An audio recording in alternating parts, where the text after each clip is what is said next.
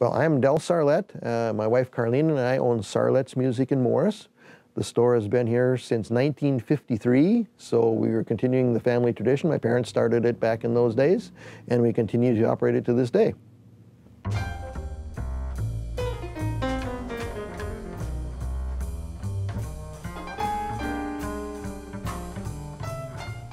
Sarlett's Music opened in 1953, run by my parents, Walt and Florence Sarlett.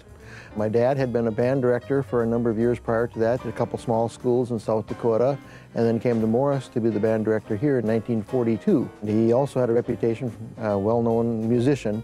I played saxophone and clarinet in a variety of dance bands and stuff, so he was very highly regarded in, in, in that respect too. My mom had grown up in Milan.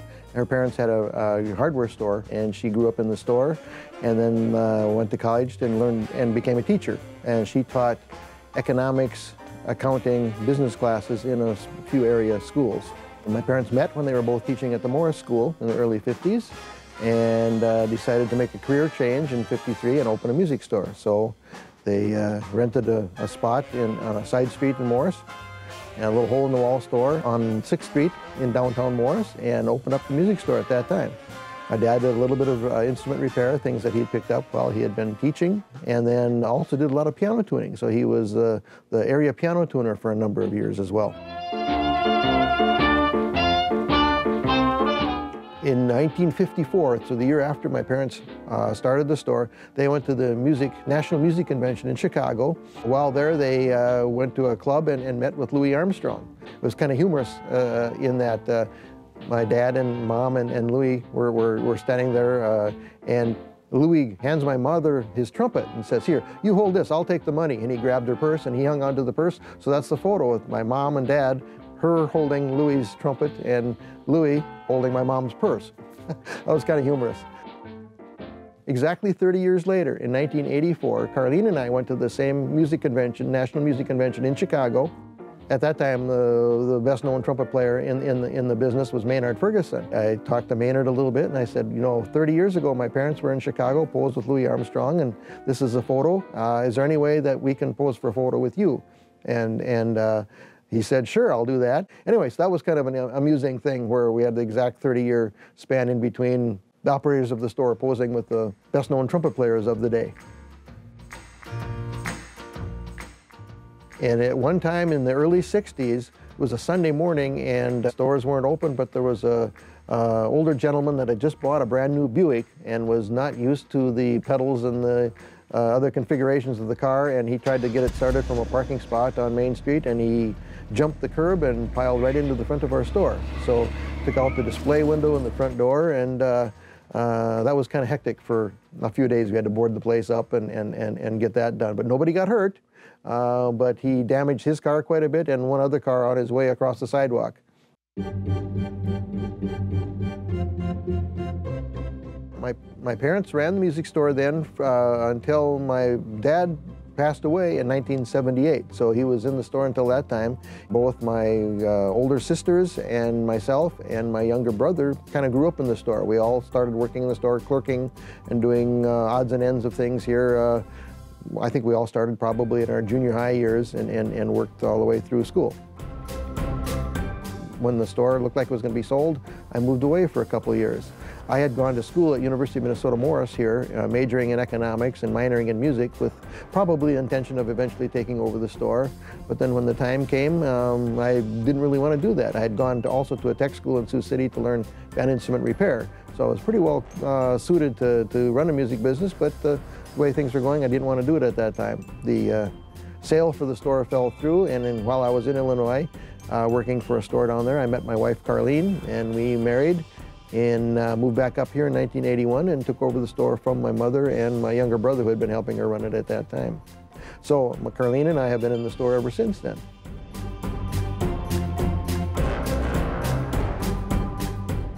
We've had a series of part-time employees over the years, um, mostly music students at, at, the local college at UMM or recent grads that were music students at UMM. And then about 10 years ago, we were fortunate enough to have uh, our current employee, Mike Odello, moved in from California, and he's been working with us ever since.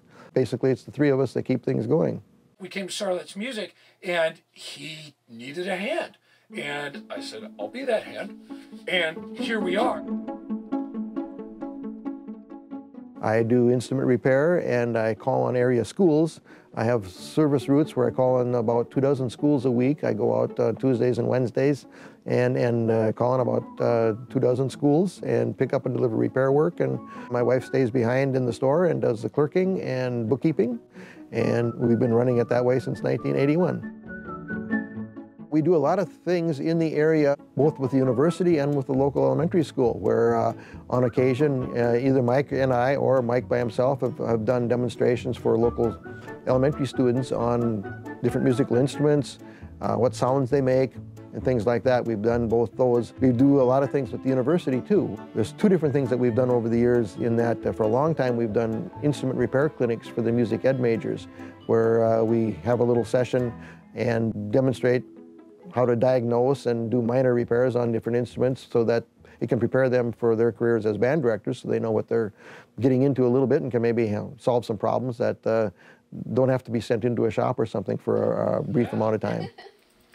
Okay. Thanks, you guys. You're awesome. Yeah. I can't wait to go home.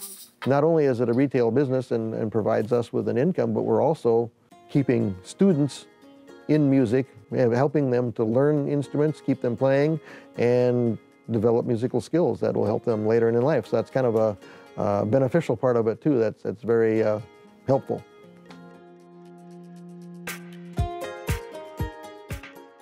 Well, music and the arts is very important in the area of schools because it uh, helps the students develop parts of their mind that aren't really uh, covered by uh, more core classes like social studies and English and that. The arts and music especially expand certain aspects of, of a developing mind and uh, band and choir teach teamwork with students uh, without the chance of getting hurt like playing football or hockey. Those are very important to the development of the students and uh, a music store is important, our area music store, a local music store is very important to keeping those things uh, provided to the area schools. There aren't too many mom and pop music stores around anymore so we're getting to be kind of a, a diminishing breed here.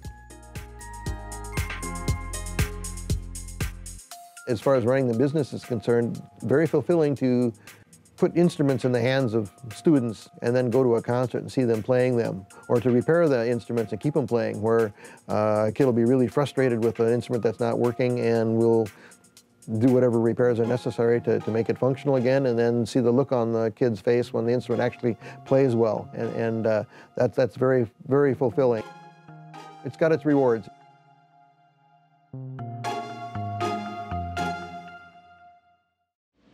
Can you tell me the joke about uh, the, the trombone player in the playground? Can you tell me that? Sure. How do you tell which children at the playground are the offspring of trombone players? How can you tell, Bill? They're the ones that uh, can't swing and don't know how to use the slide.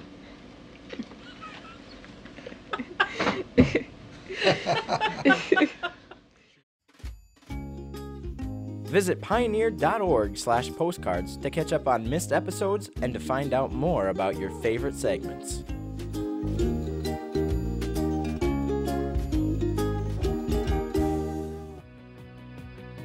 This program on Pioneer Public Television is funded by the Minnesota Arts and Cultural Heritage Fund with money from the vote of the people of Minnesota on November 4th, 2008.